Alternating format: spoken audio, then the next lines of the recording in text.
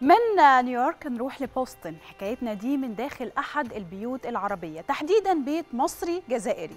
كاميرا إكسترا نيوز قضت معاهم يوم رمضاني جميل وأجواء من ريحة مصر.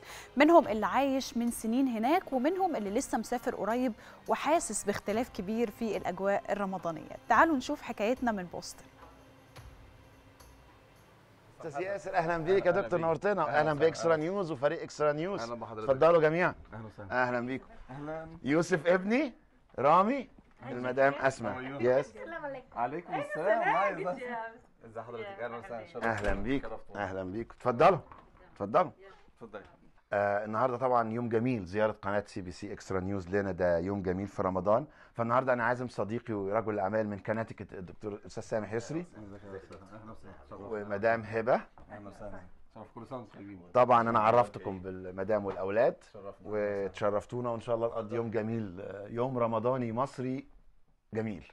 بعيدا عن الوطن والأهل تحاول الجاليات العربية وعلى رأسهم المصرية أن تعيش أجواء شهر رمضان الفضيل واليوم. ومن مدينة بoston كنا على موعد مع أسرة الأستاذ حسن أبو العينين لنعيش كل تفاصيل يوم رمضاني في الغربة. بعد الاستقبال الرائع والأجواء الرمضانية اللي فعلا يعني حسستنا إن إحنا قريبين من مصر شوية ومن أوطاننا العربية في ضيافة الأستاذ حسن أبو العينين خليني أسألك يا أستاذ حسن بقالك كام سنة هنا في الغربة ويعني كلمني عن الأجواء. آه، كام رمضان ما قضيتوش في مصر؟ وهل بتختلف الأجواء بين أمريكا وعنها في مصر؟ كام سنة؟ مش فاكر بالظبط أنا في أمريكا بس أنا أقدر أقول لك أنا من 1994 من كأس العالم. دي أول زيارة ليا في أمريكا. آه ومن 96 إقامة دايما. قضيت بقى كام رمضان في مصر؟ في خلال آه، دي اتنين رمضان في مصر وعمري ما قضيتهم وقت كامل يعني 2008 و2012 أما بالنسبة ليومنا هنا في أمريكا طبعا مختلف عن مصر. بس بنحاول نعيش نعيش أجواءنا نعيش أجواء رمضان. زي ما الشباب بنحب نعمل ديكورات لرمضان. ولادي يوسف ورامي بيصوموا رمضان. هو رامي عشان صغير بس بيصوم half day ي fast half day وأسماء مراتي ما شاء الله بتشجعهم على الصلاة وعلى الصيام. يومنا بيبدأ إن إحنا بنعمل شوية activity ورياضة دايما قبل الفطار زي ما لعبنا مع بعض كده شفت ال ping pong. نقضي رياضة وبعدين نفطر بس فطارنا بيكون فطار خفيف.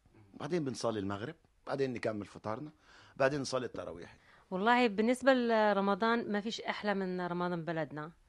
وفي الغربة بنحاول ونجتهد نعمل جو آه، مناسب خصوصا للأولاد عشان آه، يتعرفوا إزاي آه، نستقبل رمضان والحاجات دي إلا موضوع الطبخ الطبخ آخر حاجة واحد يفكر فيها بس أنا بجتهد أني بعمل مزيج بين عشان الأولاد يعرفوا الطبخ الجزائري والطبخ المصري بس هو كله قريب من بعض I'll say a Fatiha. Uh, Bismillah ar-Rahman ar-Rahim. Alhamdulillah Rabbil Alameen. Ar-Rahman ar-Rahim. Malik Yawm al-Din. إياك نعبد وإياك نستعين اهدنا الصراط المستقيم صراط الذين أنعمت عليهم غير المغضوب عليهم صدق الله العظيم طبعا الأهل وال واللمة بتبقى لها شكل طبيعي. إحنا بنحاول نخليها يعني جزء من من من مصر يعني. طبعا رمضان غريب بالنسبة لي السنة دي عشان أنا عروسة جديدة. و... وجديدة في البلد والصيام صعب. سافرت كتير آه بس هنا مختلف لأن أنا إقامتي بقت هنا. وفي مصر طبعا رمضان مختلف. و... وأنا كان آخر رمضان ليا من سنتين في مصر. ف حاجة جديدة.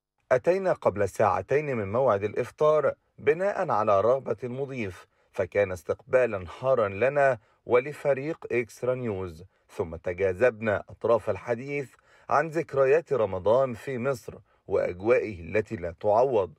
Extra News Ramadan Kareem أعزائنا المشاهدين بشكر حضراتكم. ده كان يومنا النهاردة في ضيافة الأستاذ حسن أبو العينين وأسرته الجميلة. بشكر حضراتكم وكل عام وحضراتكم بخير.